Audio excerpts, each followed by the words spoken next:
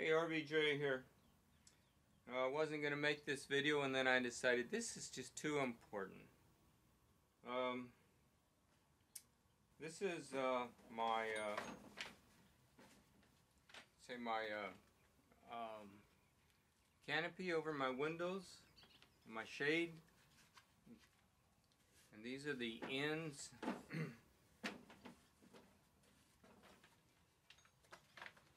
this end right here. That looks good doesn't it? Got a screw here screw on the other side and a hole here for this rod to come out of. That rod's connected to this spring which is about a foot long and uh, you turn this to get your spring tension. So this you you pull it and then you just uh, hook it onto the uh, your little catch on the RV well these let's see there's nothing to them you have a hole here and it's open so that it will fit over the end of the tube. And this sits right on inside there.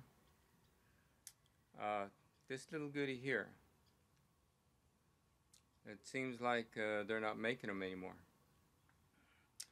I usually get a lot of stuff online, couldn't find it online. Um, so then I went to the uh, big local dealer here. I'm not going to mention its name. But uh, they are very good at uh, what they do.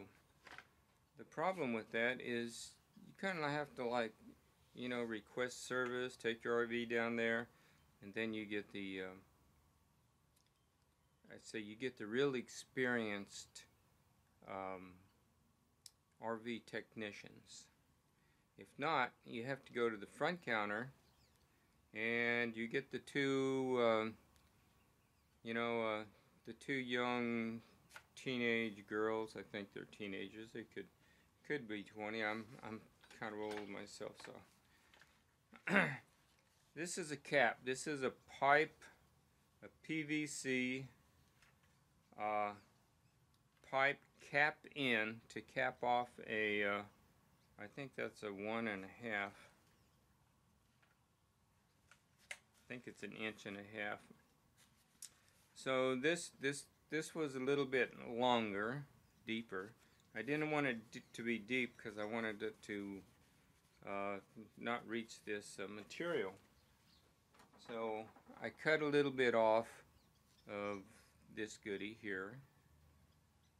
Hacksaw vice grip, dead easy. And on, in the end, I drilled a hole for this.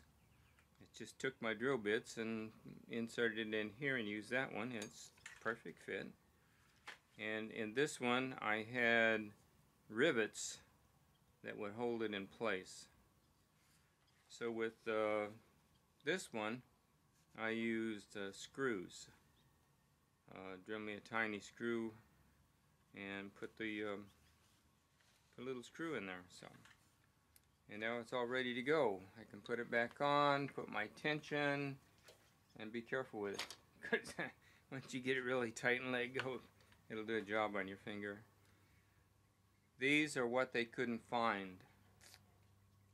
Uh, we found the number and uh, these are uh, made by Dometic and we found the number and Dometic's catalog says these are discontinued. Now that's a 2003 Bounder so it's only 15 uh, I guess 16 years old now and this is plastic. This is not going to last. And they quit making them. So if you find yourself in a situation where these break and you have nowhere to turn to, turn to Home Depot and make yourself a couple. Or in my case, um, I had eight, uh, needed eight. I have four shades, two on each shade. Um, I needed eight to replace them all, but I had, I already had four new ones on there. I, I can't say new, but newer than the, the ones that came with it. So I only needed to make four. And this is really tough material. That's going to last for years, more at least more than 14 years. So uh, that's my tip. I could not not do a video on this. That's that's important.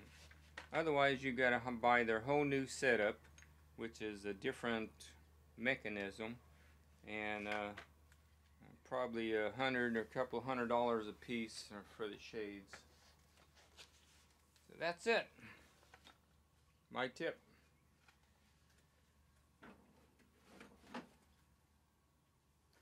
Thanks for watching.